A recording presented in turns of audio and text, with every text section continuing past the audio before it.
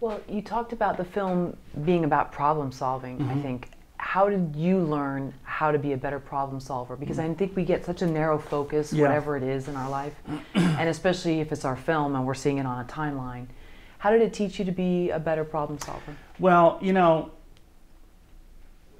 our film, if you build it, is about, it's really about what we call design thinking, which is these two teachers came into a small town, a small high school in North Carolina, and they were asked to teach the students how to become more creative problem solvers or, or how to how to learn what design thinking is and how to apply it to your own life. And design thinking is is really just sort of a process by which designers and engineers and architects look at a problem. Um, and there's sort of a structure that is involved in, in, in how to become a better design thinker. Um, there's researching a problem. There's what we call ideating, which is throwing a bunch of ideas against the wall on yellow notepads or three by, three by five cards or writing it on a, a whiteboard.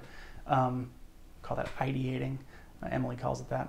Um, you develop an idea, which is sort of you take two or three of the best ideas and pull them together. Um, then you build a prototype for what that solution might look like. Maybe it's a model, maybe it's a drawing, maybe it's something like that. Um, um, you refine that prototype. Um, that's the fifth step, refine. Hmm. And then you build it. Then you take that idea of yours and you build it. And that's really rubbed off on us.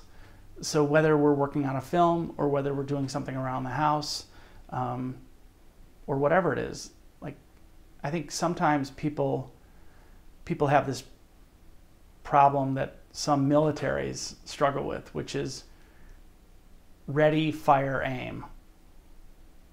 And I think design thinking really encourages you to, to, to say ready, aim, really aim, and then fire. It's it's there's so many solutions in our world that have created more problems than than there were before before before the solution was introduced. And I, I what we what we tried to show in this film is that anybody can become a better creative, a more creative problem solver, um, and and that's what I love about the film so much. I mean, it's it's a, it's a really um, sort of an inspiring story about becoming better at what you do, whatever you do.